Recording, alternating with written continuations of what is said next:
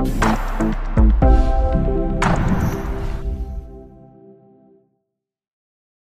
everyone, I'm back with another video and in today's video we have an Asus ROG laptop. This is an Asus ROG GL503VD model and in this video I'm gonna go over how you can open it up and how you can remove or replace your battery. This is just a demonstration, I'm not gonna actually replace it but if your battery is running low or is not uh, charging completely or it just it goes down really quickly then you might want to replace it. Right, and by doing this, you're not going to change anything in the system or any configuration. You just plug and play. We get lots of clients coming in and that the batteries are just inflated and you just, it lasts about half an hour and then sure, you can just replace it. And I'll cover that in this video. First thing first, you want to power off the laptop and I'll go over the tools that I'll be using. Tool number one is a good screwdriver set. A good screwdriver set, I always like to use the iFixit screwdriver set. And from this tool set, we're going to be using a Phillips number zero. These are really good screwdriver set. The bits are made out of S2 class steel. I mean, they really grip really good and they don't go bad. And if you get a pro set, they will include you with an opening tools and some tweezers. If not, grab yourself a guitar pick. And metallic guitar picks are suitable to opening cases and covers. Right, down here first, we're to remove the service cover by sticking the guitar pick right in the middle and lifting up this rubber cover, rubber leg right there. Remove the tiny screw right underneath. And then we're gonna put it right in here and lift it up just like that. And then up and down and it will just release itself. And right away we're gonna see the hard drives and the RAMs and the SSDs, everything. The only one that we're gonna disconnect is to be the mechanical drive. We're to lift up this flip thing upward and we're to untangle this just like that. Bring it. You can, to be for a safe side, just remove this caddy, remove the four screw that touches the caddy for the mechanical drive. So yeah, you don't have this metal thing going around. Just extra precaution, just grab it from here and slide it towards the front. And there we have it. Now we're gonna remove the screw right in here behind the, the black one right in there. These are really tough on the screw. The screw right in here. And the screw right over here.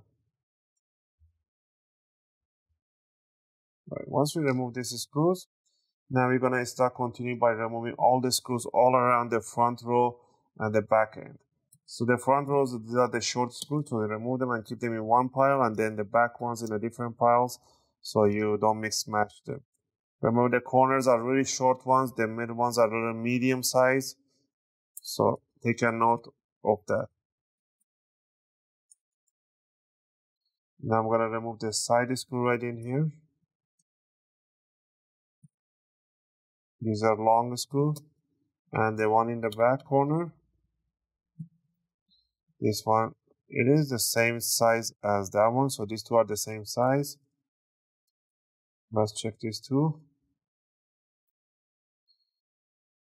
These two are the same size as the rest. Let's remove this one over here and this one should be the same size as the rest. So there are three types of screws. The front two corner short ones and the rest on the outside is of the long screws. And don't forget about the screws right under the cover here. Three screws these are the same size. But once we remove all this we're going to grab the opening tool.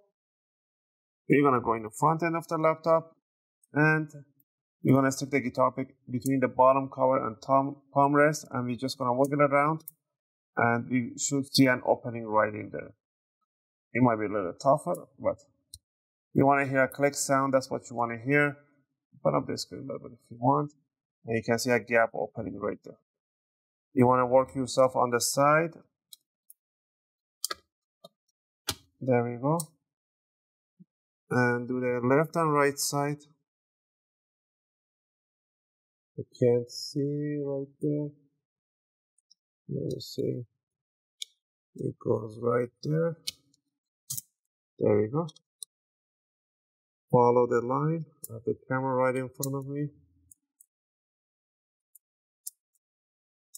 And once you got the front and the side, bring it up, work slowly up and down like this, and lift it up from the back, bring it up, and it should release itself right there.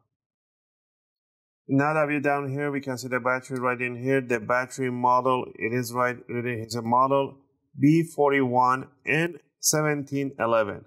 So there's your battery. To remove the battery, the connector is right in here. So what you want to do, you want to put your fingers right at the corner of your jack right there and pull it backward straight. It is kind of hard, hard to pull it. You want to wiggle it around a little bit and it should release itself, just like that. Now, all you need to do, remove one screw right in there and one screw in the middle. Remove these two screws. And lift it up, bring it up straight, and there you have it. One, two, three, four cell batteries, whole cell configuration. I don't know, but it is looks like a three cell, three cables, three red cables, and three black. So that means they're configured in a three cell configuration. And there's a CMOS battery CR2032. If you want to replace your BIOS battery, that's the one right there. Let's say that you got the new battery in. All you want to do, you want to put this pinhole right by the screw right in there. And the other one in the here, bring it down. Make sure the jack goes in, the connector goes inside the jack evenly. That it does not go in sideways or anything like that. Otherwise, you're going to make a short and it's a good game. Alright, so the jack is all the way pushed down inside the connector. Make sure it's all the way in. And you want to grab the screw, put the screw right beside it right there. And the screw right over here.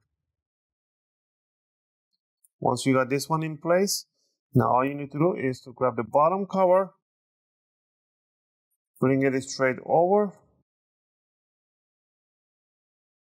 And then you want to push the corners. You want to hear those nice big click sounds. And if you see any opening, you just want to pinch them together and it should go to its place. So first thing first, we're going to put the screws right under the cover, service cover here. Put those screws. Next, we're going to grab the hard drive. You're going to slide it right under palm rest, bring it down, make sure it's nice it's not in there.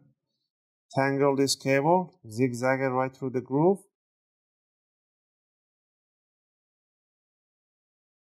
Bring it and you want to push down the connector. There we go. Now put the four screws for the hard drive caddy.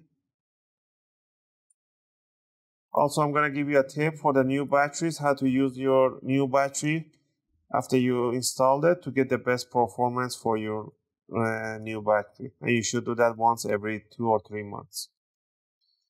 Once you put the screws right there, you want to grab the bottom cover, service cover, put it right on top, and squeeze it down, just like that. And put the screw right in here with the rubber cover. All right. Now, once you put a new battery in there, you don't want to power on the laptop right away you want to leave it charging at least with an power off for at least I would say four to five hours. After four to five hours, you can power on the laptop without the charger and make sure you drain the battery slowly. Don't put any games or any heavy load. Slowly drain it down to 30, 20%. And after that, you want to power it off and leave it charging for another four to five hours. This first initial cycling of the battery is very, very important for the new one and for the old ones too. And if you want to keep the good maintenance, you should do this one. This servicing of the battery, charging and discharging once every couple of months to keep the health of the battery at its uh, best shape.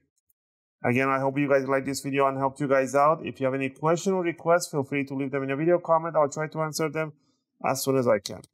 As always, thanks for watching and I'll see you guys in my next video. And this is how you replace your battery for your Asus ROG GL503 VD model.